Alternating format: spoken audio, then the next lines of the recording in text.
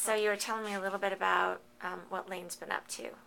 Yeah, my son Lane, um, he's a ninth grader at Loveland High, and he's been doing roller coaster design and engineering for lab, and it's taken him quite a bit of time this year to get kind of his thoughts together. But now he's working at nights and on the weekends, and it's just become this passion-driven activity versus a work-driven learning activity. And he's written daily newsletters on the amusement park that he's making that will go to his employees about the rides and what parts of the park are doing better that he created.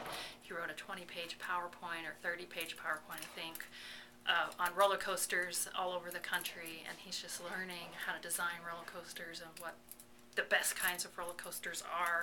Uh, so, what may have looked like he wasn't engaged in learning uh, while he was doing research online was definitely high learning for him that he's and he's just working like i said all the time outside of school inside school and it's just passion driven learning at this And point I remember when he was here, um, he was just always on the computer, but whenever I would look over his shoulder, he was reading paragraphs and paragraphs about different roller coasters. And he mentioned to me that he was doing cost analysis as well Mhm. to yeah he built he designed a whole theme park and he's doing cost analysis on all the rides and all the roller coasters and what's doing best in the park and what's not and what things he can change about the areas of the park that aren't doing as good to make them better And then when you talked to the school, um, the teachers were saying they thought he had plenty to get an English.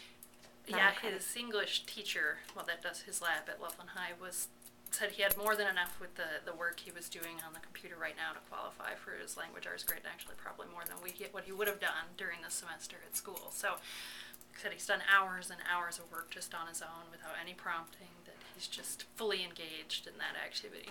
Great, thank you.